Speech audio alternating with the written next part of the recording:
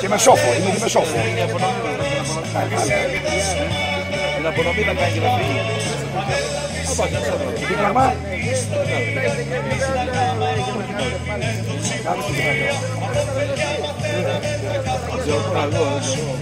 Εδώ τον Πανάς είναι η προπονητής. Εγώ ξέρω, θα πάρω,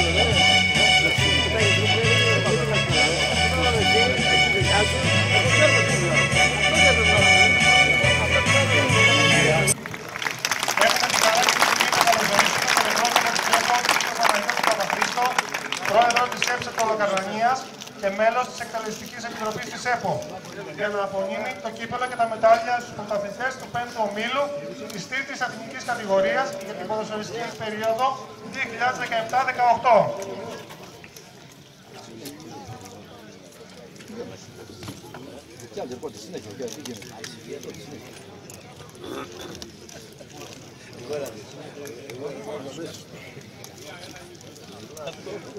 Έχει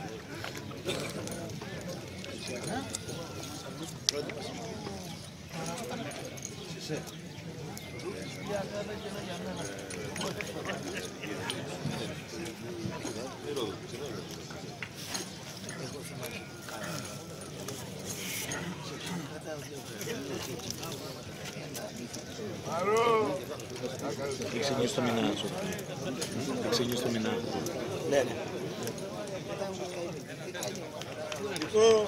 Καλούδι να δω. Καλά πάνω, ρε.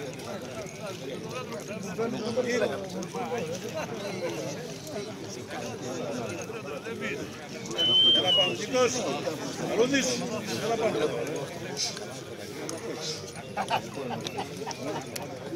Αστερί! Μη φύγεις στο ημίχρονο θα έρθω, περίμενε! Κοίτα πως τραβάει, που τον πήρε Πού; Από εκεί πάνω τραβάει. Και δεν τον αφήνει να μπει μέσα. Τι.